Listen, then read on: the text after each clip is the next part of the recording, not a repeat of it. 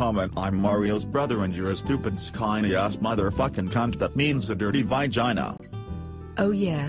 Leave me alone you nigger rhyme to ring you have butt sex with this fat hairy dick and his dick getting shoved in my mouth. Suck suck suck. That's what I'm doing.